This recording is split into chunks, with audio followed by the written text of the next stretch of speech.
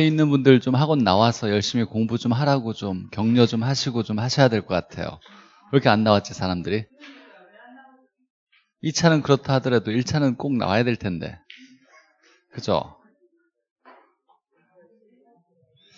자, 수업 시작하죠. 안녕하세요. 시험은 잘 보셨을 거라고 생각하고, 네. 점수는 중요하지 않고, 어, 배웠는데 틀린 거 있을 거 아니에요? 난이도 중하에 해당되는 거 특히 상 말고 이런 것들 다시 한번 점검해서 내 걸로 만드셔야 돼요. 그리고 사실 다 가르쳐줬어요. 하나도 빠짐없이. 기억이 안 나겠지만. 자, 보죠. 우리 이제 8주차 투자론인데 마지막에 어 1년 한 우리 정규 2, 개월 과정 중 8주차 중에 두 번째로 중요한 수업이에요. 가장 중요한 건 이제 감정평가 수업이었고 두 번째 투자론 수업이었고 이제 마지막으로 점수를 좀 더 두세 문제 올릴 수 있는 단원이 감정평가 투자론이니까 자 보죠. 8주차 자 포트폴리오 이론인데 분산 투자 이론이죠. 어, 시험 문제 어렵게 나온 적이 없으니까 가장 중요한 거 딱 떠올라야 돼요. 자 분산 투자에서 제거할 수 있는 위험은 뭐밖에 없다. 비체계적 위험 개별 자산, 개별 부동산만의 위험은 제거할 수 있는데 모든 부동산에 영향을 미치는 체계적 위험, 경기 변동, 인플레이션, 시장 이자율 변동 위험 같은 건 분산 투자한다고 제거되는 것이 아니다라는 거죠. 자 일단 첫 번째 보죠. 평균과 분산의 의미라고 했을 때 이때 평균은 우리가 이제 미래에 대한 수익률을 기대 수익률, 예상 수익률이라고 했어요. 근데 미래는 반드시 이렇다라고 100% 확신할 수 없으니까 이럴 수도 있고 저럴 수도 있고 저럴 수도 있을 때 수익률들을 다 가중 평균에서 구한다 그랬어요. 그래서 우리 투자론에서 나오는 수익은 번 수익이 아니라 벌 거라고 예상되는 수익이라 그랬어요. 그래서 수익은 기대 수익을 얘기하고 이때 평균은 가중 평균에서 구하는 기대 수익률의 의미의 평균이에요. 그래서 이 평균은 수익을 의미하고 그래서 기대 수익률은 장래 수익률을 가중 평균한 값을 사용하므로 수익을 우리가 평균이라고 얘기하고 그다음에 이제 중요하죠. 위험은 기대 수익률의 기대 수익률의 분산이나 표준 편차를 위험의 척도로 나타낸다. 그래서 분산과 표준 편차에 의미하는 게 뭐냐면 위험이라는 거 꼭 기억해놔야죠. 이거 시험 문제 나올 가능성이 높은 거니까. 자 그리고 또 위험은 변이계수와 비례관계라 그랬네요. 자 그래서 변이계수는 위험과 비례래요. 수익과 위험을 나타내서 비율로 표현하는데 얘가 변이 계수가 위험과 비례니까 위험이 올라가야죠. 그래서 변이 계수를 읽을 때 수익에 대한 위험의 비율 또는 위험을 수익으로 나눈 값 위험이 위에 올라가야 돼요. 이때 위험은 표준 편차로 쓸 수 있고 수익은 기대 수익률 또는 평균으로 쓸 수 있다는 거. 자, 그래서 변이계수는 수익분의 위험 이렇게 쓴다. 자 평균 분산 원리는 간단하죠 수, 평균은 수익을 얘기하니까 수익은 큰 게 좋을 거고 그래서 평균은 큰 게 좋고 분산은 위험을 얘기하니까 작은 게 좋더라라는 거죠. 그럼 만약에 수익이 똑같으면 위험이 작은 게 좋은 거고 위험이 똑같으면 수익이 큰 게 좋은 거죠. 그럼 여러 개의 투자안이 있을 때 위험이 똑같은 것들 중에 수익이 큰거 수익이 똑같을 때 위험이 작은 거 이게 좋은 투자안이에요. 이렇게 좋은 투자안들만을 평균 분산 원리로 끄집어내서 연결한 선을 뭐라고 하냐면 좋은 투자안을 효율적 투자안이라고 하고 이걸 연결한 선을 효율적 전선이라고 했죠. 자 그래서 효율적 전선은 이렇게 오른쪽이 올라가는데 자 평균 분산 지배 원리에 의해서 좋은 것들만 끄집어냈을 때 이렇게 이렇게 이런 것들이 이제 효율적 투자안이라 해보죠. 그럼 얘들 이렇게 연결한 선을 효율적 전선. 오른쪽에 올라간 이유는 여기에 수익을 쓰고 이쪽에 위험을 썼을 때 위험과 수익은 무슨 관계? 비례 관계. 이건 뭐 우리 투자론에서 가장 중요한 얘기죠. high risk, high return이라 그러죠. 그래서 오른쪽으로 올라간 이유가 우상향하는 이유는 위험과 수익이 비례 관계니까 여기에서 더 큰 수익을 얻으려면 위험을 더 크게 감수할 수밖에 없다를 얘기하는 거죠. 자, 위험과 수익은 비례 관계인데 이번에 시험 문제 위험과 가치는 무슨 관계예요? 위험하면 부동산에 투자한다 안 한다? 안 한다. 부동산 안 사면 가치가 떨어지겠죠. 위험과 가치는 반비례고 위험과 수익은 비례 관계 두 개 중요하고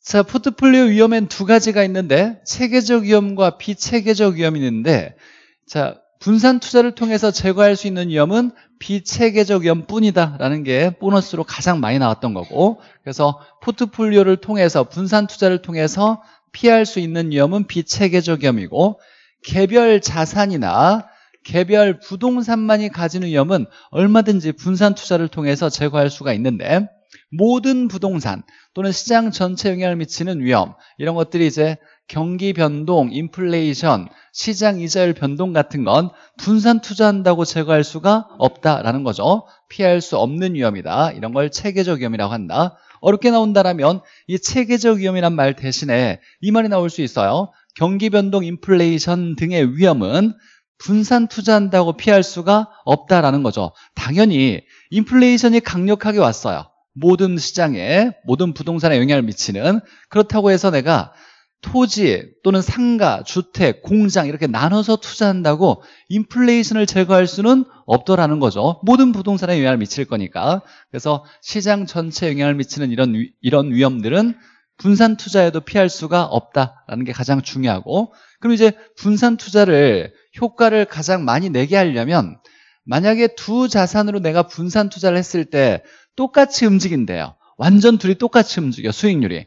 그러면 나눠서 한 거나 몰빵한 거나 차이가 없을 거 아니에요. 분산 투자 효과가 크게 나타내려면 같이 움직이는 게 아니라 반대로 다르게 움직이는 투자안을 나눠서 했을 때 나눠서 투자했을 때 효과가 크게 나타난다. 비체계적 위험을 줄이는 효과죠. 이걸 분산 투자 효과.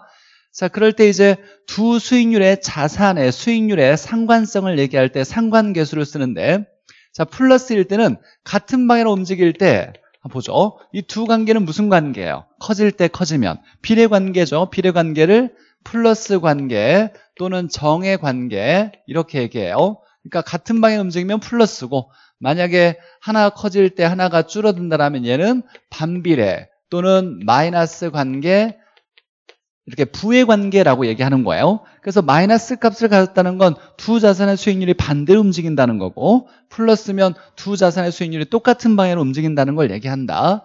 자, 크기까지 봤을 때 완전 크기가 똑같고 정반대로 움직이면 마이너스 1, 두 자산의 수익률의 관계, 상관계수가 두 개가 완전 똑같은 방향으로 똑같은 크기로 움직이면 플러스 1 이렇게 얘기하는 거예요. 그럼 플러스 1 값을 나타내는 두 자산의 수익률은 완전 크기도 똑같고 똑같이 움직인대요. 몰빵한 거나 두 개 나눈 거나 효과는 없어요. 같이 움직이니까. 맞아요? 우리가 이제 어 예전에 공부할 때 우리 분산 투자 효과에 대한 예로 이렇게 했었어요. 부채 공장에 몰빵하지 않고 나눠서 투자하면 위험을 줄인다 했을 때 부채 공장, 선풍기 공장 똑같이 움직이는 거 나눠서 투자한 효과가 없어. 얘 잘 될 때 얘도 잘 되면 하나에 투자한 거랑 똑같은 효과라 그랬어요. 반대로 움직이는 걸 분산 투자의 효과가 크다. 알아듣고 있을까요? 자, 그래서 상관계수가 플러스 1일 때는 효과가 없다. 그리고 마이너스 1일 때는 최대 효과인데 이때 최대는 모든 위험을 0으로 바꾸는 것이 아니라 체계적 위험은 제거할 수 없으니까 비체계적 위험만 모두 제거해서 비체계적 위험만 0으로 바꾼다. 그러면 마이너스 1 때 최대, 플러스 1일 때 효과가 없으니까 플러스 1만 아니면 효과는 나타난다죠. 중요한 건 0일 때 상관계수가 0이면 효과가 나타나요? 안 나타나요? 나타난다요. 플러스 1만 아니면 나타난다.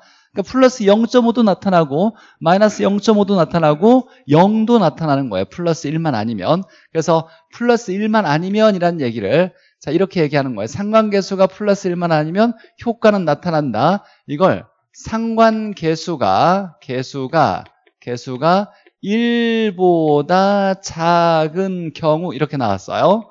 상관계수가 1보다 작대요. 이때 1은 플러스 1을 얘기하는 거죠. 1보다 작으면 플러스 1이 아니라는 얘기예요. 그럼 효과는 나타난다라는 얘기예요. 이렇게 표현한다라는 거 지문에서 상관계수가 0일 때도 효과는 나타난다. 상관계수 기억해놓고 변이계수는 뭐분의 뭐? 위험분의 수익이에요. 수익분의 위험이에요. 수익분의 위험 쓴다라는 거. 위험과 비례관계. 위험이 커질 때 커지는 값이 분산, 표준편차, 변이계수. 근데 우리 투자론에서는 위험 회피형을 전제하니까 위험이 작은 걸 좋아해요. 그러면 투자자들이 우리가 좋은 투자안이라고 판단하는 건 분산이 작은 거, 표준 편차가 작은 거, 변이 계수가 작은 투자안을 좋은 투자안으로 본다라는 거. 자, 문제 보죠. 11번. 자, 포트폴리오 이런 문제는 무조건 우리가 맞아야 되는 거고 보너스로 출제자가 주는 거고 한번 질문에 어떻게 나왔는지 보죠. 자, 설명으로 옳은 거. 인플레이션 경기 변동 이게 탁 나오면 어 이건 모든 부동산에 영향을 미치는 위험이니까 이건 무슨 위험이라고 한다? 체계적 위험. 이건 친절하게 준 거예요. 출제자가 좀 어렵게 쓴다라면 이 체계적이란 말을 없애버리고 인플레이션 경기 변동 위험은 이라고 나올 거예요. 이 딱 나오면 이건 체계적 위험이라는 거 중요한 얘기고 자 얘는 제거가 가능하다 불가능하다 불가능하다 예 틀린 거죠. 체계적 위험은 피할 수가 없다. 자, 투, 투자 자산 간의 상관계수가 1보다 작은 경우 중요한 질문이죠. 1보다 작다는 얘기는 플러스 1이 아닌 경우를 얘기하는 거예요. 플러스 1이 아니면 포트폴리오 구성을 통한 위험 절감 효과 이건 포트폴리오 효과죠. 절가가 나타난다라고 나와야죠. 플러스 1만 아니면 효과는 나타난다. 자, 두 개의 자산의 수익률이 서로 다른 방향으로 움직일 경우 수익률이 반대 방향으로 움직인대요. 그럼 두 개의 상관성, 상관계수라는 계수라는 말은 상관성을 얘기하는 거예요. 얘가 커질 때 줄어든다. 반대로 움직이는 관계, 상관성을 마이너스 관계라고 얘기하니까 반대로 움직이면 상관계수는 상관계수는 플러스다 마이너스다 마이너스 값을 나타낸다. 틀렸죠? 그러면 마이너스 값을 나타내면 위험 분산 효과가 커져요 작아져요? 커진다 라고 나와야 돼요. 반대일수록 효과는 커진다. 틀렸고 자 효율적 전선이라고 나오는데 얘는 평균 분산 원리를 통해서 수익 큰 거, 위험 작은 것들의 효율적인 투자한들만을 끄집어내서 연결한 선을 얘기하죠. 자, 효율적 전선은 효율적 전선과 투자자의 무차별 곡선 이때 우리가 무차별 곡선에서도 마찬가지로 세로축의 수익, 가로축의 위험을 쓰는데 투자자에 따라서 이렇게 무차별 곡선이 다른 모양을 나타낸대요. 그래서 급한 녀석은 보수적이에요, 공격적이에요? 보수적이죠. 기억해놔야죠. 우리가 암기 코드로 보급이라고 했죠. 보수적 투자자의 무차별 곡선의 경사가 급하다. 공격적 투자가 완만하다. 자, 얘가 접하는 얘가 중요한 거예요.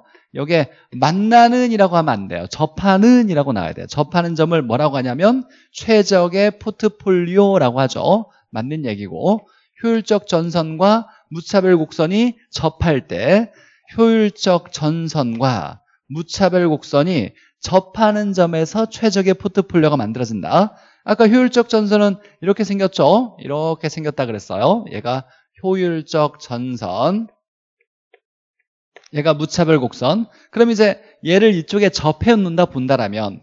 자 곡선 이렇게 급한 녀석을 옮겨가지고 접하는 점을 찾아보니까 이렇게 접하면 이 앞쪽에서 접할 거예요. 이렇게 접할 거고. 그 다음에 공격적 투자자가 완만하니까 완만한 걸 이렇게 옮겨서 접하는 점을 찾아보니까 이렇게 이쪽에서 접하게 될 거예요. 그래서 투자자에 따라서 최적의 포트폴리오는 같은 지점이에요 다른 지점이에요 다른 지점에서 만들어지는 거예요. 얘가 보수적 투자자고 얘는 이제 공격적 투자자죠. 그러니까 말 그대로 보수적 투자자는 위험을 엄청 싫어하니까 위험이 이쪽은 수익이고 여기는 위험을 나타나니까. 자 보수적 투자자의 최적의 포트폴리오는 위험이 작은 걸 선호한다. 위험이 작으면 수익도 작을 수밖에 없다 공격적 투자자는 위험이 큰 걸 그나마 선호하는데 위험이 클수록 수익도 커질 수 있다. 이거 얘기하는 거죠. 투자자의 최적의 포트폴리오가 다르게 나타날 수 있더라. 접하는 점을 만나는 이라고 하면 틀리죠. 얘가 만약 이렇게 했다고 해서 여기 여기 만난다 해서 이걸 최적의 포트폴리오를 하지 않죠. 접하는 점 접점에서 최적의 포트폴리오가 결정된다 자 5번에 보니까 포트폴리오 편이 되는 자산수를 늘림으로써 자산수를 늘린다는 건 분산 투자를 더 많이 한다는 거죠 자 늘림으로써 체계적 위험을 줄여 맞아요 틀리죠 비체계적 위험을 줄여서 결과로 총 위험, 전체 위험이 줄어들게 되는 걸 포트폴리오 효과, 분산 투자 효과라고 하죠. 단어의 뜻만, 개념만 잘 잡으면 어려운 내용은 없고 옳은 건 4번. 자, 13번 보죠. 자, 그래서 분산 투자 나오면 위험을 구분할 수 있어야 돼요. 이게 체계적 위험인지 비체계적 위험인지 이게 가장 중요한 포인트였고 자, 보니까 투자에 따른 위험, 투자의 위험에 대한 설명 옳은 거 이렇게 나왔는데 자 기억해 보니까 무슨 위험 이렇게 나왔는데 가장 중요한 포인트는 여기죠. 수익성이 악화되었다라고 했을 때 우리가 투자했다는 위험 나오면 투자의 위험이면 금사유법인 이렇게 있었어요. 자 그러면 수익성이 악화된 건 임대료 수입을 많이 못 벌었다는 얘기예요. 그러면 임대 사업이 잘 안 된다는 얘기죠. 무슨 위험이에요? 사업 위험이에요. 그래서 얘는 사업 위험에 해당된다. 근데 사업 위험에는 세 가지가 있죠. 시장, 운영, 위치 위험. 이 셋 중에 뭐에 해당될 거냐를 좀 더 더 자세히 우리가 구분해 본다라면 보니까 경기 침체로라고 나왔네요. 경기 침체. 그럼 시장이 안 좋다는 얘기잖아요. 시장이 뭐예요? 수요 공급이죠. 수요와 공급이 안 좋아서 시장이 안 좋아서 임대료 수입을 못 벌었다는 얘기죠. 자, 경기는 우리가 수요 공급의 정도를 경기라 그래요. 시장에서 나타나는 경제 활동. 그럼 이 시유 운이 중에 뭐다? 시장 위험 얘기하는 거예요. 그래서 기억은 사업 위험이라고 해도 되고 시장 위험이라고 해도 되는 거예요. 이렇게 얘기할 수는 없고 다음에 이 지문이 나온다면 이건 사업 위험이 아니라 시장 위험이다 이렇게 나올 거예요 출제자가 표현할 때 자, 그래서 기억은 맞는 얘기고 자, 니은 보죠. 차입자에게 고정금리를 대출을 실행하면 고정금리 대출을 실행하면 대출자의 인플레이션 위험은 낮아진다라고 했어요. 그럼 대출자에게 위험을 줄인다. 대출자에게 유리한 거죠. 대출자에게 유리한 방식은 무조건 뭐다? 변동금리 대출 방식이죠. 대출자에 유리한 건 변동금리. 금리를 올려서 차입자의 위험을 떠넘길 수 있는 위험의 전가의 대표적인 거죠. 그래서 니은은 틀렸고 틀린 게 나왔으면 니은 얼른 지워야죠. 니은 니은 니은 지으면 답은 1번 나왔네요. 이건 출제자가 그냥 보너스로 주려고 했던 지문 갖고 문제 갖고 디귿 보죠. 자, 효율적인 프론티어, 효율적 전선이죠. 오른쪽에 올라가 있어요. 그래서 추가적인 위험을 감수하지 않으면 않으면 수익률을 증가시킬 수 없다 이렇게 나왔어요. 그 말은 위험이 커져야 수익도 높일 수 있다라는 얘기죠. 두 개가 비례관계다를 말하는 거고 맞고 자 리을 중요하죠. 자 개별 부동산의 특성으로 인해서 나타나는 위험이라고 나왔어요. 자 그럼 얘는 체계적 위험이에요, 비체계적 위험이에요. 개별 부동산 나오면 비체계적 위험인 거죠. 체계적 위험은 모든 부동산에 영향을 미치는 위험을 얘기하죠. 그래서 얘가 틀렸고 개별 부동산에 나타나는 비체계적 위험은 포트폴리오 분산 투자를 통해서 제거할 수 있다. 이렇게 나와야죠. 얘가 틀렸네요. 비체계적 위험이라고 나와야 돼요. 그래서 분산 투자 나오면 체계적 위험인지 비체계적 위험인지 구분하는 게 첫 번째 가장 중요한 거다. 자 14번 보죠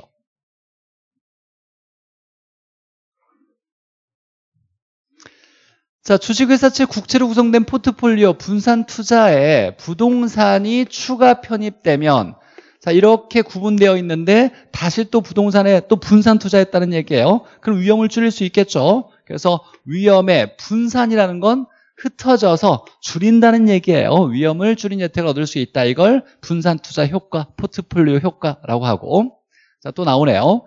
경기 변동, 인플레이션, 이자율 변화 등의 약이 되는 위험은 이라고 나왔어요. 자, 그러면 우리가 분산 투자 나오면 이런 위험은 체계적 위험을 얘기하는 거죠. 이런 체계적 위험, 체계적 위험은 피할 수 없는 위험으로 이를 비체계적 위험이 아니라 체계적 위험이라 한다. 이렇게 나와야죠. 얘가 틀렸네요. 자, 얘에 의해서 나타나는 건 이런 건 체계적 위험으로 피할 수가 없는 건 맞는데 이걸 체계적 위험이라 한다.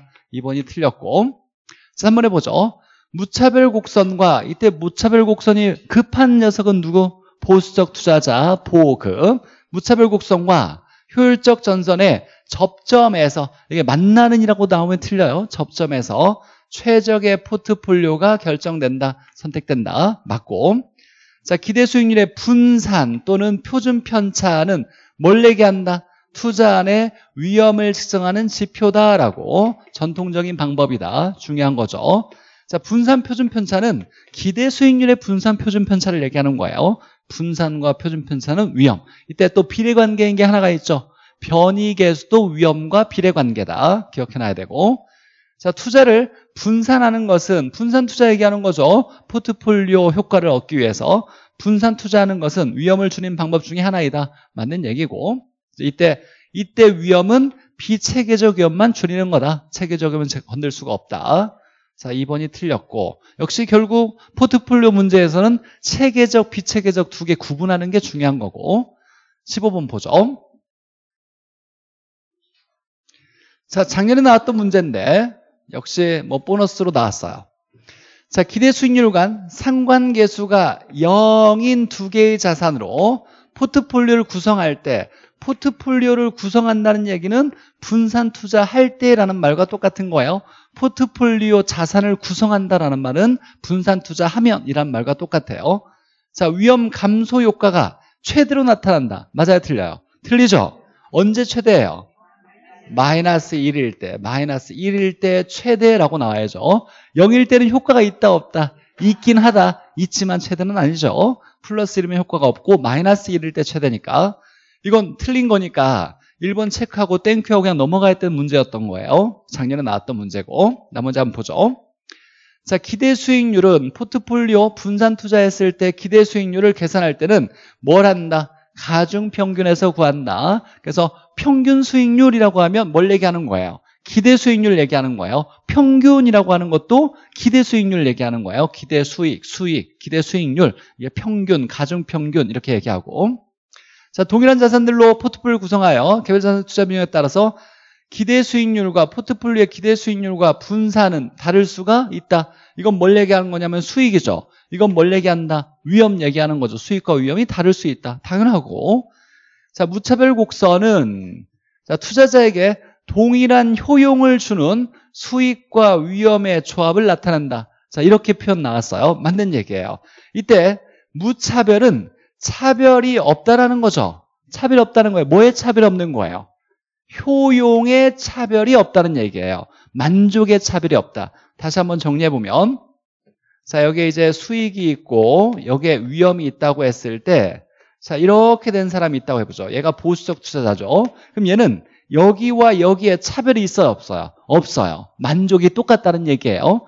위험이 여만큼이면 수익 여만큼 주면 얘가 100만큼의 만족이 있는데 얘가 위험이 커졌어요. 그러면 수익을 여만큼 주면 역시 100이라는 만족을 똑같이 얻는다.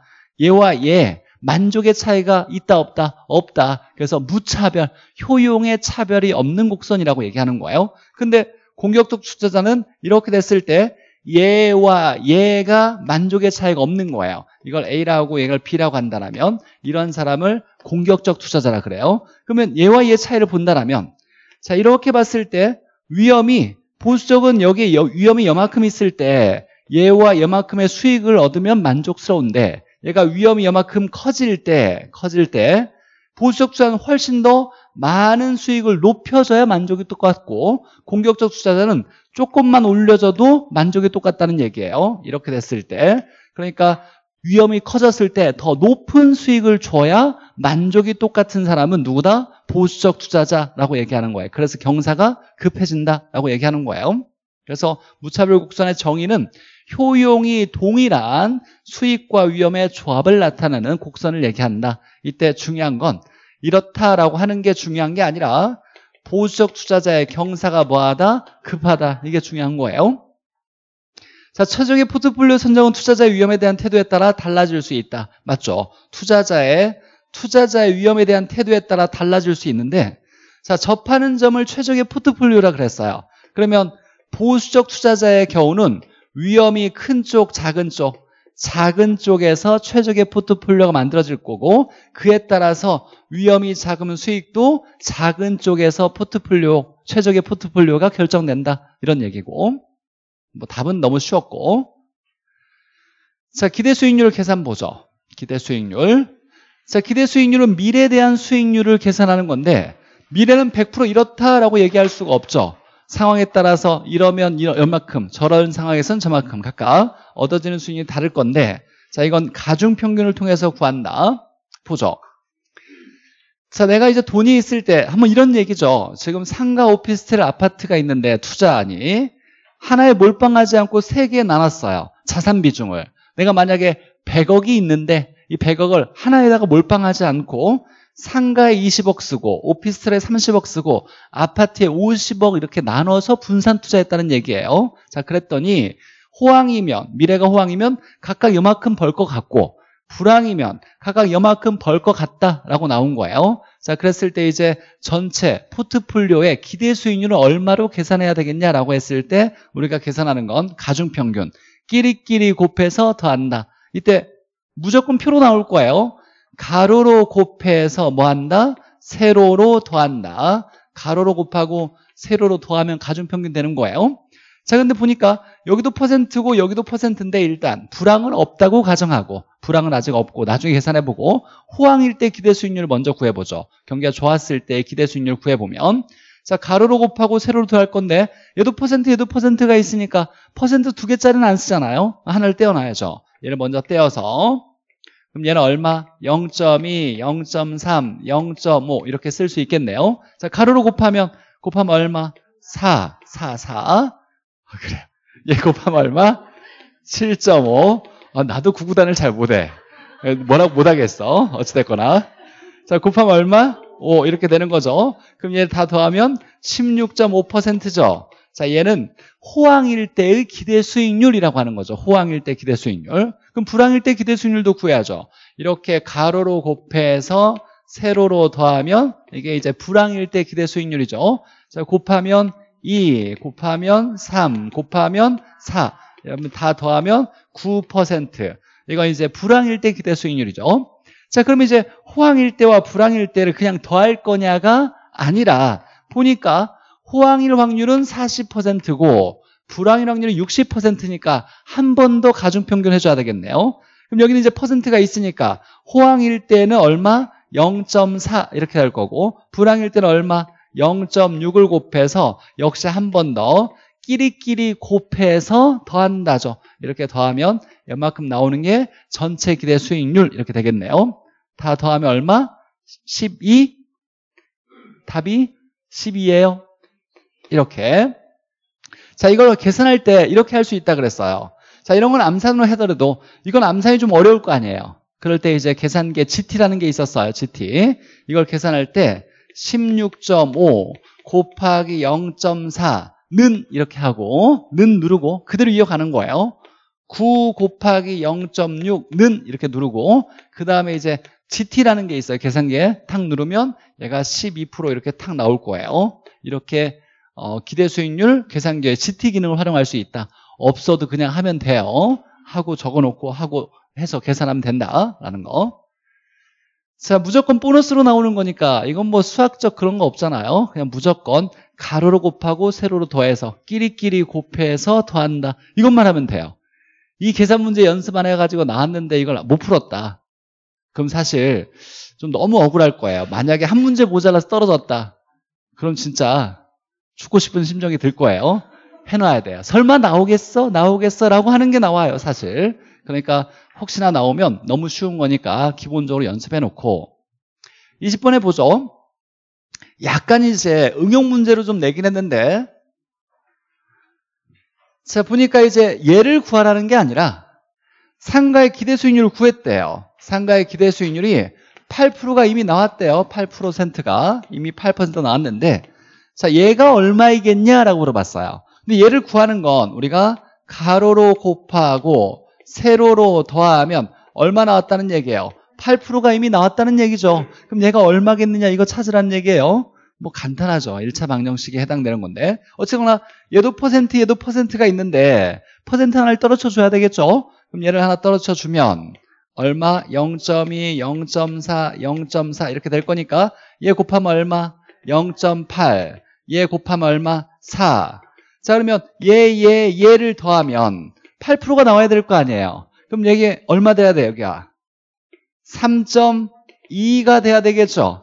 3.2 그러니까 얘하고 얘를 곱한 값이 얼마가 돼야 된다? 3.2가 돼야 한다는 얘기잖아요. 얼마 곱하면 돼요? 8 이렇게 곱하면 되겠다. 8 구하는 거죠.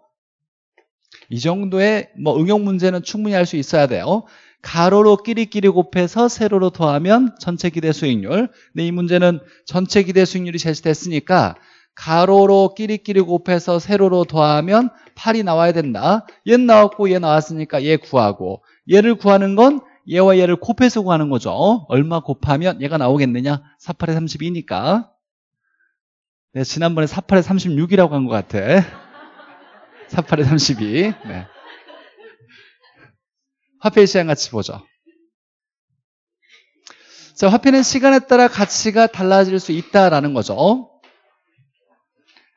어, 아무 위험이 없이 은행에만 넣어도 시간이 지나면 뭐가 붙어요? 이자가 붙겠죠. 근데 만약에 내가 이걸 부동산에 투자했어. 그럼 시간이 지나면 뭐가 붙어요? 수익이 붙을 거 아니에요. 위험에 따라서 더 얻어지는 수익도 있을 거 아니에요. 그럼 시간이 지나면 금이 돈의 돈의 금액이 더 미래로 갈수록 커질 거예요. 그래서 일반적으로 우리가 현, 현 재 돈은 시간이 지나서 미래로 갈수록 금액이 커져 나가요. 그래서 현재를 미래 가치로 바꿔주는 걸 커진다라고 해서 할증한다 이런 말을 쓰고 미래 돈을 현재로 당겨오면 금액이 작아질 거예요. 이걸 할인한다 이렇게 얘기하죠. 자, 커지는 걸 할증할 때 보통 이자가 붙어서 이자율만큼 할증이 되고 땡겨오는 건 작아지는 거죠. 할인율로 이렇게 할인한다. 근데 중요한 건 할증할 때는 주로 뭘로 한다? 이자율로 해요. 할인할 때는 할인율로 쓰죠. 근데 중요한 거 아무 말이 없이 특별한 조건이 없으면 투자론에서는 할인율로 뭘 쓴다? 요구 수익률로 쓴다. 이거 기억해놔야 돼요. 할인율이 요구 수익률. 근데 우리가 감정평가에서 할인한다, 환원한다 똑같은 말로 썼어요. 환원율도 뭐다? 요구 수익률을 얘기한다. 라는 거예요. 잠깐 복수해보면 요구 수익률은 두 개의 합이었어요. 뭐와 뭐? 무위험률과 위험할증률. 무위험률은 뭘 얘기한다 대표로? 금리, 금리죠. 그러면 무위험률 커지면 요구 수익률 커진다. 금리 커지면 요구 수익률 커진다. 위험 할증률 위험 커지면 커지는 거죠. 위험 커져도 요구 수익률 커진다. 요구 수익률 커지면 함부로 투자하지 않는다. 보수적 투자자일수록 요구 수익률을 높인다. 이렇게 얘기했던 거죠. 화폐 시장 같이 보죠. 자, 중요한 건 여섯 개의 자본환원 개수를 먼저 이해해야 되는데 문제가 한 문제 이상 무조건이에요. 한 문제 나올 수도 있고 두 문제 나올 수도 있고 세 문제 나올 수도 있어요. 이 화폐 시장 가치와 연관된 것이 무조건 잘 정리해야 되고 요즘 특히 31회, 32회, 33회 계속 두 문제 이상씩 나오고 있어요. 자, 일단 보죠. 자본하는 개수는 구하고자 하는 금액을 구하기 위해서 뭐 하는 거예요? 곱해지는 개수예요. 곱해지는 개수다. 이게 중요한 거예요. 뭔가를 구하려고 곱하기 하는 개수를 얘기하는 거예요. 뭔가를 구하려고. 자, 내가 개수는 미래 가치를 구하려고. 내가가 뭐냐? 미래 가치를 줄여서 넷가라고 그래요. 미래를 구하려고 하는 것이 넷가 개수. 현가는 현재 가치를 줄여서 구하는 거. 현재 가치를 현가라 그러죠. 현재 가치를 구하기 위한 개수를 현가 개수라고 해요. 자, 그럼 보죠. 일시불의 넷가 개수의 단어 뜻을 알아야 돼요. 단어가 뭐냐면 일시불을 뭘로 바꾸는 거예요? 넷가로 바꿔주기 위해서 뭐 하는 거? 곱해지는 개수를 얘기하는 거예요. 즉 일시불을 좀 더 정확히 얘기하면 일시불을 일시불의 내가로 바꿔주기 위해서 곱해지는 개수를 일시불의 내가 개수라 그래요. 그럼 한번 식을 써보죠. 자, 일시불의 내가 개수가 들어가는 식이 뭐예요? 일시불을 뭘로 바꾸는 거예요? 일시불의 내가로 바꿔주기 위해서 뭐 하는 거? 곱해주는 걸 이걸 뭐라고 한다? 일시불의 내가 개수라고 얘기해요. 일시불의 내가 개수라고 한다. 근데 우리가 야 100원이 있는데 미래에 얘가 얼마가 될 거냐 이걸 할 때는 현재 100원이 있는데 미래 얼마 되겠지? 이걸 할 때 우리가 할증을 할 거 아니에요 얼마를 곱해줬어요? 1 플러스 R에 N승을 곱해줬죠 얘를 뭐라고 한다? 일시불의 내가 개수라고 하는 거예요 일시불의 내가 개수는 1 플러스 R에 N승을 얘기해요 그럼 얘 보죠 일시불을 뭘로? 일시불의 현가로 바꿔주기 위해서 곱해지는 개수죠. 자 그러면 식을 어떻게 쓸까요? 일시불을 뭘로? 일시불의 현가로 바꿔주기 위해서 곱해주는 게 뭐다? 일시불의 현가 개수를 얘기한다 라는 거죠.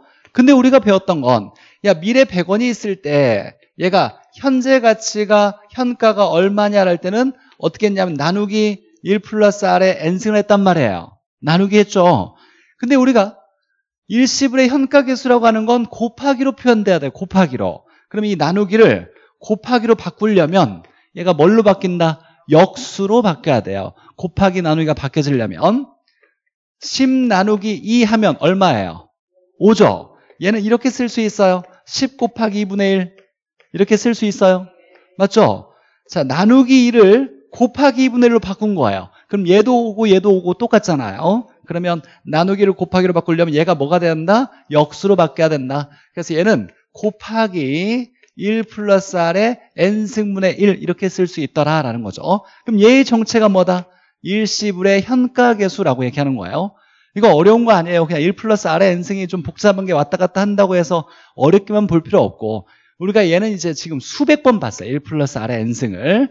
자, 곱해서 1 플러스 R의 n승 나오면 일시로 현가계수고 나누기로 했지만 이걸 곱하기로 바꾸면 역수로 바뀐다는 거예요. 그럼 여기서 이제 이걸 알고 있느냐라고 물을 때 출제자가 내는 내용은 R이 커지면 이 전체 값은 커져요, 작아져요? 커져요.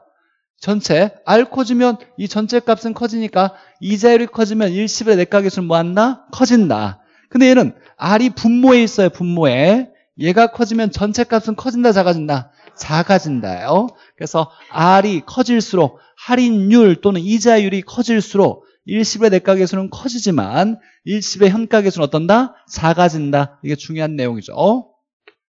얘를 이렇게도 표현해요. 얘를 1 플러스 R의 마이너스 n승이라고도 표현하는 거예요. 마이너스 n승. 이제 익숙해졌으니까 기억해놔야 돼. 1 플러스 R의 마이너스 n승이라고 쓴다. 자, 이제 연금이 중요하죠. 연금. 자, 우리가 똑같은 금액 이렇게 10원, 10원, 10원 이렇게 반복했다고 해보죠. 똑같은 금액이 여러 번 반복됐어요. 이건 연금 방식이라 그래요. 연금 방식. 이때 연금의 총합은 얼마예요? 30원이죠? 연금은 얼마예요? 10원이라고 하는 거예요. 연금은 하나 얘기하는 거예요. 하나, 하나. 자, 연금 하나 10원이에요. 연금은 총 3번 있으니까 3년에 10원씩 넣는다고 했을 때 자, 이 연금의 원가는 총 30원이죠. 근데 이걸 만약에 미래 시점, 이게 미래 어떤 시점인데 얘로 쑥 보내서 전체 합이 얼마냐라고 한다면 이건 30원보다 클까요, 작을까요? 크겠죠? 이자가 붙어 나가야 되니까 얘가 만약에 35원 이렇게 했다고 해보자 그러면 5원은 총 이자가 붙은 거네요 이걸 뭐라고 하냐면 연금의 내가라고 얘기해요 연금의 내가 자 그러면 이제 연금의 내가 계수의 식을 한번 써보죠 자 이걸 좀 지워도 괜찮겠죠? 지워도 괜찮아요? 적어져 있으니까 자, 이 식을 보죠. 연금의 내가 계수는 연금을 뭘로? 연금의 내가로 바꿔주기 위해서 곱해지는 계수죠. 식을 써봐요. 식. 연금. 연금을 뭘로? 연금의 연금의 내가로 바꿔주기 위해서 곱해지는 게 뭐다? 이게 뭐다?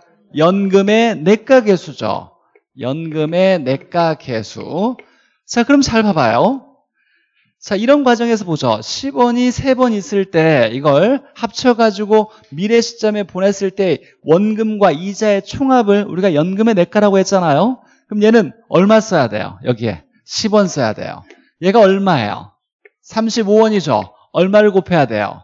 3.5를 곱하면 되겠네. 그래서 이게 이자율이 얼마라고 했을 때 3년에 해당되는 즉 얘가 이자율이 R%고 3번 있으니까 3년 또는 3회에 해당되는 연금의 내가계수 표를 찾아보니까 이자율 R에 해당되는 3년짜리 연금의 내가계수가 3.5라고 나온 거예요. 그러면 10원에다가 3.5를 곱하면 얘가 35 딱 이렇게 나온다는 거예요. 자, 이걸 연금의 내가계수라고 한다는 거예요. 곱하기만 하면 돼요. 주어진 걸 가지고. 자, 연금 하나를 연금의 내가로 바꿔줄 때 몇 년에 해당되는 건 연금에 들어있어요? 연금의 내가계수에 들어있어요? 연금의 내가계수에 들어있는 거예요. 연금의 내가계수. 이게 만약에 4년이었으면 얘가 만약에 얘가 4년이어서 47 이렇게 나왔다고 해보죠. 그러면 연금의 내가계수가 바뀌는 거야. 얘는 10원 그대로고 얘가 얼마? 곱하기 4.7에서 얘가 47 이렇게 나온다는 거죠. 그러니까 몇 년에 해당되는 건 연금의 내가계수에 들어있는 값이다 라는 거예요. 그래서 이 내용을 쉽게 탁 이해할 수 있어야 돼요. 그럼 마찬가지로 해도 이런 거죠. 연금을 연금의 현가로 바꿔주기 위해서 뭐 하는 거? 곱해지는 계수. 식이 어떻게 돼야 돼요? 연금을 뭘로 바꾸는 거다? 연금의 현가로 바꿔주기 위해서 곱해지는 게 뭐다? 연금의 현가 계수예요. 연금의 현가 계수. 무슨 얘기냐면 여기 연금이 이렇게 10원, 10원, 10원 있을 때 이걸 모두 합쳐서 어떤 현재 시점을 여기로 봤을 때 여기를 현재 시점으로 봤을 때 이거의 총합이 얼마냐 이렇게 했을 때 이걸 연금의 현재 가치 계수, 연금의 현가라고 한다는 거예요. 30원보다 클까요, 작을까요? 작죠. 뭐가 빠져야 돼요? 이자가 빠져야 되겠죠. 얘가 25원이라고 해보죠. 이렇게 했을 때 그러면 연금의 원금의 합은 총 30원인데 이걸 합쳐가지고 땡겨왔던 이자가 그만큼 빠지겠죠. 그럼 여기에 식을 어떻게 써야 되냐면 10원 여기를 얼마? 25원 이 연금의 현가계수는 얼마예요? 2.5 이렇게 곱해주는 거예요. 그러면 3년에 해당되는 이자 아래 해당되는 연금의 현가계수가 2.5 표를 찾아보니까 2.5라고 나온 거예요. 2.5 곱하면 바로 나오는 거예요. 그럼 이런 걸 알면 너무 쉽게 계산할 수 있잖아요. 안 그래? 만약에 얘가 이렇게 10, 10, 10 이렇게 있대요. 그럼 총 몇 년이에요? 6년이잖아요. 6년의 연금의 현가계수를 표를 보니까 얘가 연금의 연금의 현가 계수가 이렇게 4.5라고 나왔대요. 그럼 이걸 모두 합쳐서 현재로 당겨오면 얘가 얼마라는 얘기예요? 45라는 얘기죠. 여기 10원, 여기 얼마? 4.5 하면 얼마? 45. 그럼 총 원금은 60원인데 이걸 현재로 탁 당겨오니까 이자가 그만큼 15원이, 15원이 빠졌다는 얘기죠. 그러니까 이런 걸 알면 연금의 내가나 연금의 현가를 쉽게 구하는 거예요? 어렵게 구하는 거예요? 쉽게 구하는 거예요. 곱하기만 하면 되는 거예요. 곱하기만. 자, 연금을 좀 이해해봤고. 자, 그 다음에 이제 감채기금 계수와 저당상수를 해석해야 되는데. 자, 감채기금 계수는 감채기금을 곱하기 한 계수인데, 감채기금은 사실 많이 중요한 단어는 아니지만, 자, 원리는 알아야 돼요. 우리가 적금 들 때예요. 적금 들 때. 내가 돈을 계속 넣어가지고 5년 뒤에 1억을 모으려 그래요. 그럼 1억 1년 뒤에 아니 5년 뒤에 5년 뒤에 1억을 모으려면 매달 또는 매년 돈을 얼마씩 내야 되는지에 납입액을 계산할 때 필요한 것이 이게 감채 기금 계수예요. 뭘 알고 뭘 구하는 거예요? 5년 뒤에 1억을 내가 모으려고 하잖아요. 미래 목표액은 알고 있어요. 그럴 때 얼마씩 돈을 내야 되는지를 계산하려고 할 때 뭘 쓴다? 감채를 쓴다. 자 그러면 식은 어떻게 해요? 뭐에서? 미래, 목표액, 목표액으로부터 뭘 구하는 거예요? 납입액, 얼마씩 내야 되는지 납입액이에요. 이 납입액, 불입액, 적금액이라 그래요. 이 적금액을 구하기 위해서 뭔가를 곱해주면 된다는 얘기예요. 뭘 곱해줘야 한다? 감세를 곱해줘야 한다. 그러니까 이해를 해야 식이 자연스럽게 떠올라요. 이걸 무조건 외우려고 하지 말고 예로부터 뭘 구하는 거다? 납입액을 구하기 위해서 곱해주는 게 뭐다? 감채 기금계수예요. 자, 저당상수 엄청 중요하죠.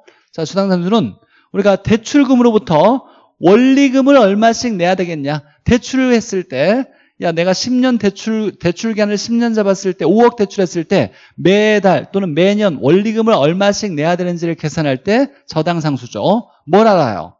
대출액을 알아요. 대출액, 대출금으로부터 뭘 구한다? 원리금을 구하는 거죠. 원리금을 구하기 위해서 예로부터 얘를 구하기 위해서 뭔가를 곱해주면 되는데 이게 뭔가가 뭐다? 저당상수죠. 가장 많이 쓰는 상수죠. 저당상수. 대출액 곱하기 저당상수는 원리금. 근데 이 원리금이 연금이 돼야 된다 그랬어요. 연금이. 그럼 매기에 원리금이 똑같아야 될 거 아니에요.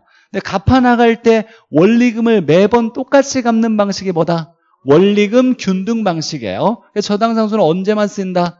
원리금 균등 방식에서만 사용할 수 있다. 연금에서 나와야 되니까 원리금 균등 방식에서만 쓰는 것이 저당상수다. 자, 이때 이제 마지막.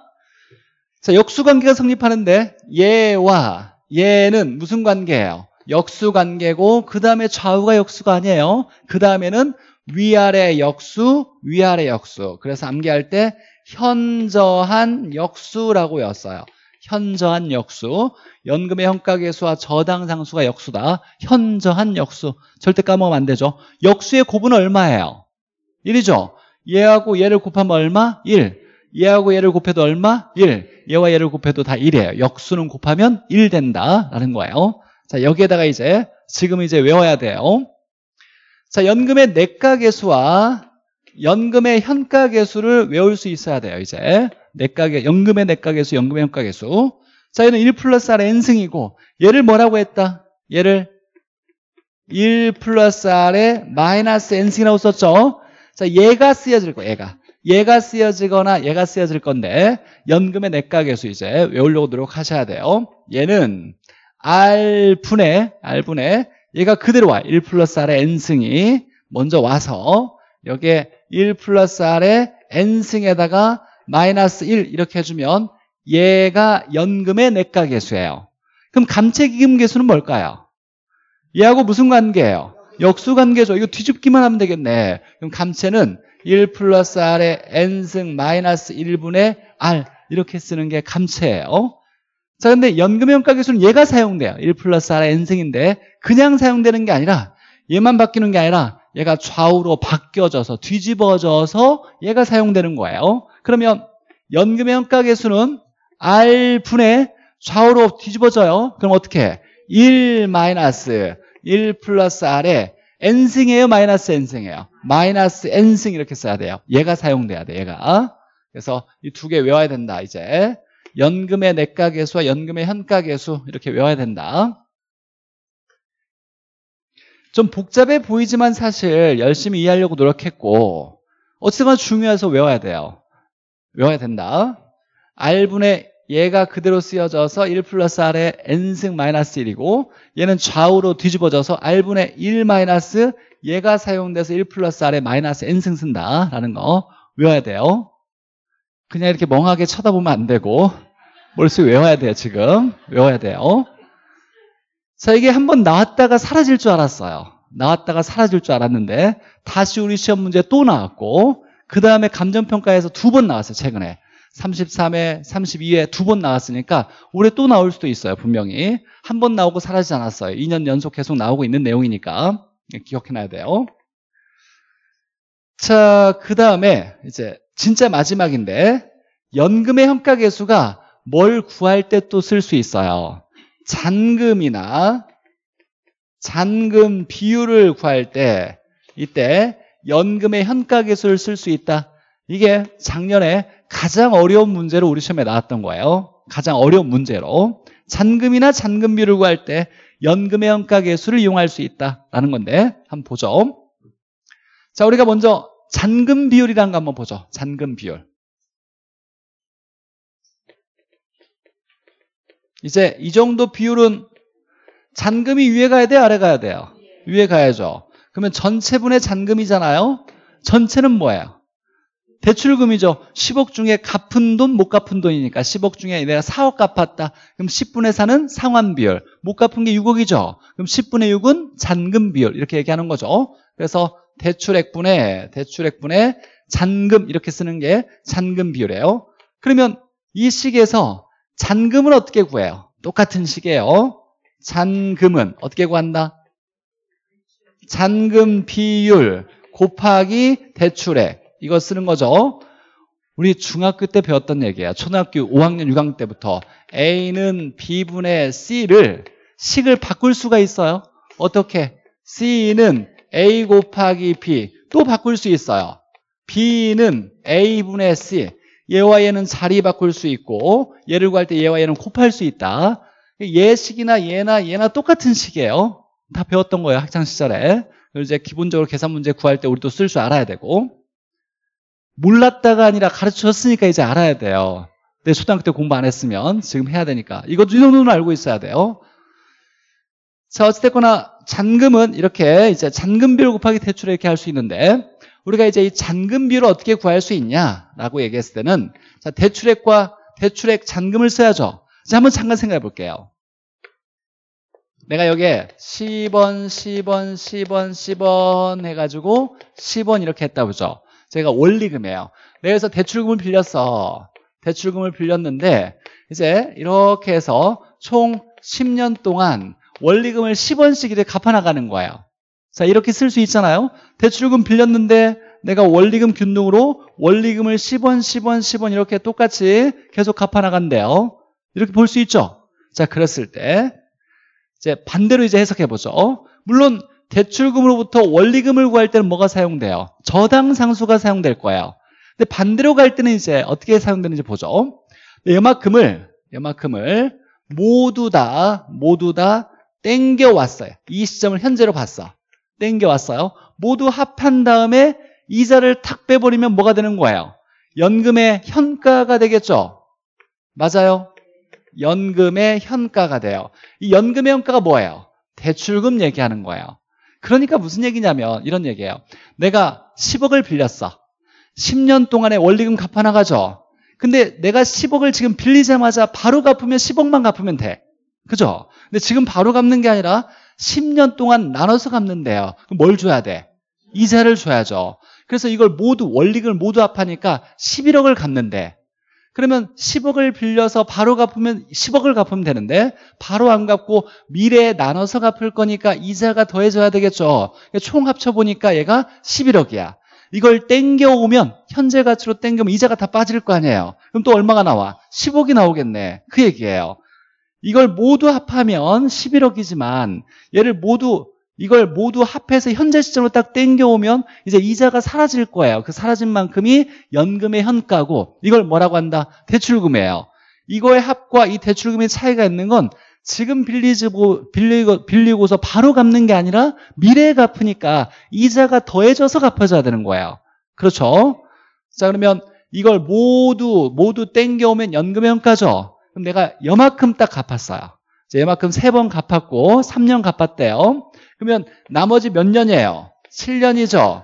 그럼 여기서 잔금이 얼마냐 그러면 갚은 건 이제 신경 쓸 필요 없고 여만큼을 뭐 하면 돼요? 땡겨오면 돼요. 이거 뭘 써야 될까요?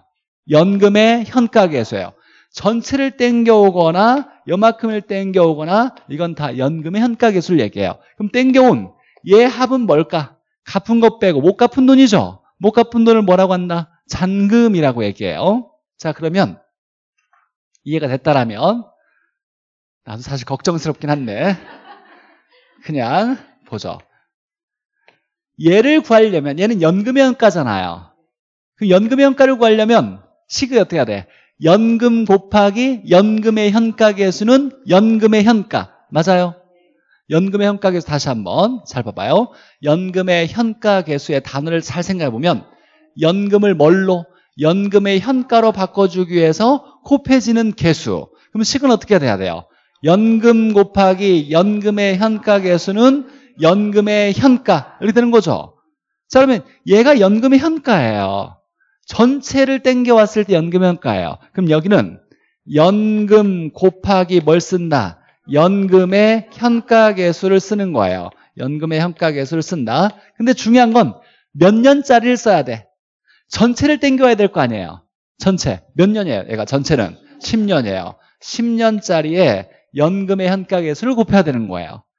잔금은 뭐냐면 역시 연금이에요. 연금. 10원, 10원, 10원, 10원 이렇게 있을 거 아니에요. 이걸 땡겨야 될 거 아니에요. 이제 여기를 현재 시점으로 보는 거예요.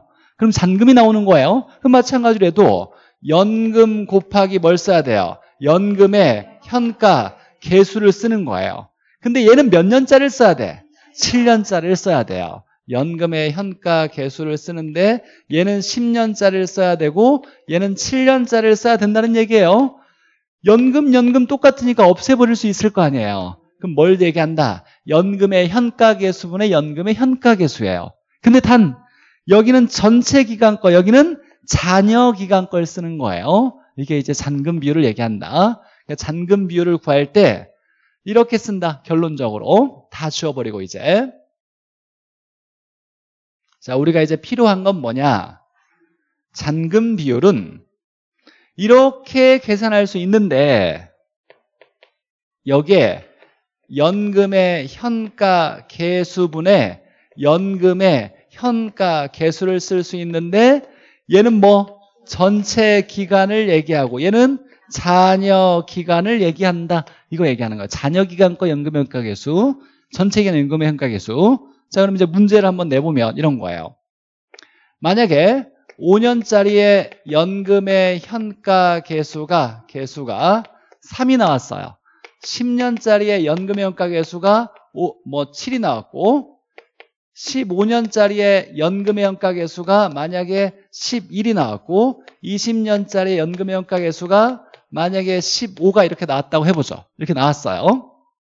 자, 그러면 내가 5년 갚았을 때, 5년 갚았을 때 잔금 비율이 얼마냐 이렇게 물어봤어요. 5년 갚았다. 잔금 비율이 얼마냐 이렇게 물어봤어요. 자, 그러면 전체 기간은 몇 년이에요? 아, 전체는 20년 잡았을 때, 20년 대출 잡았을 때 5년 후에 잔금이 얼마냐 이렇게 물어봤어요. 그럼 전체는 몇 년? 20년. 잔여 기간은 몇 년? 15년이에요. 그럼 잔금 비율은 얼마분의 얼마? 20년짜리에 15년짜리에 이거 쓰는 것이 이게 잔금 비율을 얘기하는 거예요. 그러면 결국 이제 잔금 비율이 나왔죠. 그럼 잔금을 어떻게 구하냐? 얘가 얼마? 15분의 11이죠. 여기에다 뭘 곱하면 돼요? 대출에 곱하면 된다는 거예요. 자, 그럼 이제 우리가 식을 머릿속에 해석해야 돼요. 잔금 비율은 잔금 비율은 대출액분의 잔금. 그럼 잔금은 뭐다? 잔금 비율 곱하기 대출액이에요. 이 식은 이거예요. 잔금 비율은 잔금이 올라가야 되고 잔금이 올라가야 되고 여기에 대출액 이렇게 나와야 돼요. 이제 이 식은 머릿속에 이제 자연스럽게 떠오르고 있어야 돼. 항상. 어, 잔금 비율은 잔금이 올라가야지. 전체분의 잔금. 아, 그럼 잔금은 이렇게 구할 수 있겠네. 근데 중요한 건 잔금 비율은 연금의 현가 계수를 이용할 수 있는데 전체분의 잔여 기간이다. 추워질 거예요. 값이 이렇게 각각. 그러면 우리가 해석하는 건 전체분의 잔여 기간만 알면 돼요. 그러니까 원리만 알면 답은 쉽게 구할 수 있어요. 이게 작년에 처음 나왔던 거예요. 가장 난이도가 높은 문제로. 틀려도 되지만 운 좋으면 맞으면 더 좋죠. 사실. 100명 중에 99명이 틀리는 문제예요. 한 명 맞는 우리 킬러 문제가 있잖아. 그런 거 있죠. 요즘 유명해졌으니까 어찌되거나 우린 뭐 사실 그런 관련 없지만 아니, 그 문제로 나온 게 이건데 잔금 비율의 의미만 해석하면 된다. 연금의 현가계수 전체분의 잔여기간. 이제 이걸 좀 해석할 수 있어야 연금의 현가가 굉장히 유용하게 쓰일 수 있다. 화폐 시장 가치를 계산하는데 주어진 값만 바로 곱하면 구할 수 있는 거니까 우리가 이걸 활용해서 여섯 가지가 있다라는 거고. 자, 간단히 자, 연금의 현가계수를 구분하는 거 보죠. 구분하는 거. 자, 여섯 가지의 연금의 현가계 수가 있는데 감채와 저당산은 눈에 확 띄어요. 감채와 저당산으로 눈에 확 띄는 게 야, 미래 얼마 모으려고 하는데 얼마씩 내야 돼? 이런 말 나오면 뭐예요? 감채예요. 대출금으로부터 원리금을 얼마씩 내야 돼를 산정한다면 저당상수예요. 이건 눈에 확 띄는데 일시불과 연금의 현가내가를 구분하는 게 만만치 않아요. 자, 이걸 구할 때 첫 번째 다른 거 문장을 해석하려고 하지 않는다. 첫 번째는 뭐만 본다? 금액만 확인해요. 금액만. 돈이 돈이 한 번 있는 건지 여러 번 반복되는 건지 그래서 일시불인지 연금인지만 따진다. 다른 거 안 봐요. 돈만 보는 거예요. 돈만. 한 번 있는 건지 여러 번 있는 건지. 두 번째는 자, 2단계는 시점을 확인한대요. 구하려는 시점이 현재 가치인지 미래 가치인 건지 구하려는 시점이 현재 가치인지 미래 가치인지만 따진다. 이 두 개만 따지는 거예요. 다른 거 해석하려고 하면 안 돼요. 여러분은 그럴 필요가 없어. 네, 그럴 해석도 못 할 거니와 그럴 필요도 없어요. 절대로 이걸 해석하려고 무슨 의미인지 해석하려고 달라들면 안 돼요. 자, 그럼 만약에 예를 한번 보죠. 첫 번째. 현재 5억인 주택가격이 어쩌고 어쩌고 했을 때 뭘 구하는지 한번 봤어요. 자, 그럼 보면 돈 나온 건 뭐예요? 5억 원이죠. 자, 얘가 연금의 일시불이에요. 5억 원씩 넣은 건 아니잖아요. 그냥 5억 원짜리 딱 하나 있는 거예요. 5억 원 하나 딱 있다. 이게 주택 가격인지 토지 가격인지 이건 중요한 건 아니고 5억 원 딱 하나 있는 거예요. 뭘 구하려고 하는데 언제 시점으로 구하려는지를 구하는 거예요. 봤더니 어쩌고 저쩌고 했을 때 5년 후에 가격을 산정한다고 나왔잖아요. 언제 가치로 구하는 거예요? 미래의 가치로 구하려고 한대요. 일시불이 있는데 미래 가치를 구하려고 한대요. 돈은 일시불이고 구하려는 건 미래 가치를 산정한대요. 뭐가 사용돼야 돼요? 일시불의 미래 가치 계수가 사용되는 거예요. 이렇게 계산하면 되고 두 번째 보죠. 매년 말에 500만 원씩, 500만 원씩 어쩌고 저쩌고 이렇게 나왔는데 자 보니까 돈이 500만 원씩이죠.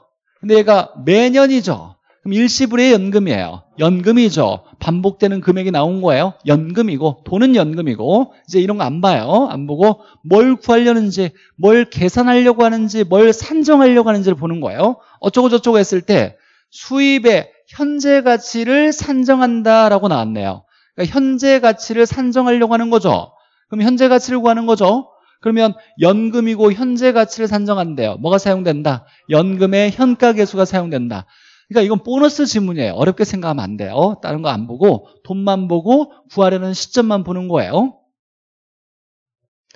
자, 그 다음에 쉬기 전에 자, 이 지문 한번 보죠. 감정평가에서 계속 나왔고 자, 32회 때 우리 시험에 또 등장했던 지문인데 자, 지금 보니까 연금 개수와 일시불 개수를 곱하면 뭐가 되냐 이렇게 물어봤어요. 우리가 곱하기가 나올 때 역수 관계면 곱하면 얼마? 1이죠. 역수는 1이에요. 역수 관계가 일시불의 내가, 일시불의 현가. 그다음에 연금의 내가, 감채. 연금의 현가, 저당상수, 현저한 역수. 이것들의 관계는 곱하면 1이에요. 역수 관계니까. 근데 보니까 얘와 얘는 역수의 역수가 아니에요. 역수가 아니죠. 역수가 아닌데 연금 개수와 일시불 개수를 곱하면 뭐가 되냐면 일단 이걸 곱하면 여러 가지가 되는 거 원리는 내가 이해시켜주려고 여러 번 노력했지만 결국 기억은 아무도 안 날 거예요. 그냥 외워요.